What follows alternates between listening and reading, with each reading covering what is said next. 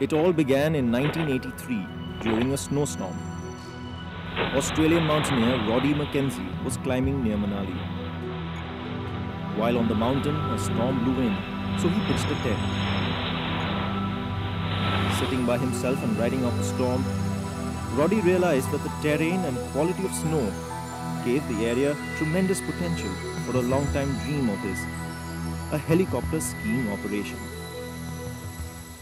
The area has a number of advantages in that uh, the altitude provides us with uh, very good recrystallization. There's an inverse square law that determines the uh, rate at which infrared is radiated off a, um, a, slope and altitude. As you double your altitude, you get four times as much infrared out into space.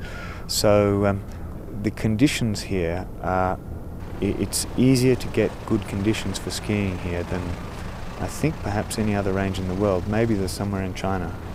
But uh, not that I know of.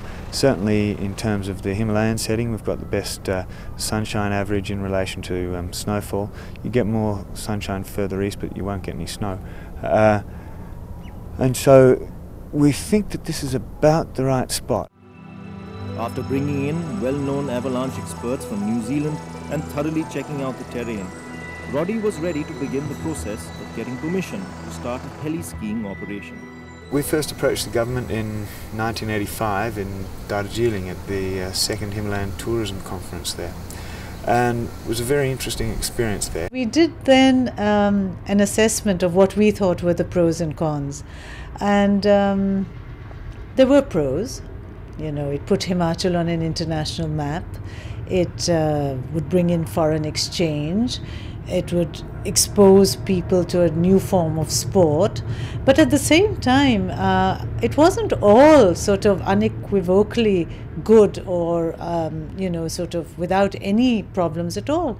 I mean, uh, I remember very distinctly that. Uh, two or three considerations that did arise when sort of weighing whether to go ahead or not to go ahead was first of all that there were environmental concerns.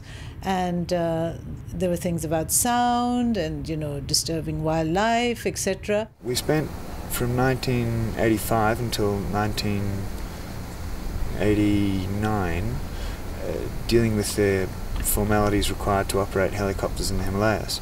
We had a very, very progressive, let's say, both senior bureaucracy and I would say the political will to support something which was quite new, quite challenging, quite adventurous. And I really don't think it would have been possible without, let's say, the political will to go ahead. So, uh, in retrospect, I think it was really an excellent decision because I, I, find that we are the only people in India doing it. It's been almost an unbroken sort of, uh, uh, let's say, season of heli skiing in Himachal. So, in 1990, recognizing the tourist potential, the Himachal Pradesh government gave its approval and Himachal heli skiing began its operations. And an exciting new adventure sport hit the slopes of Manali.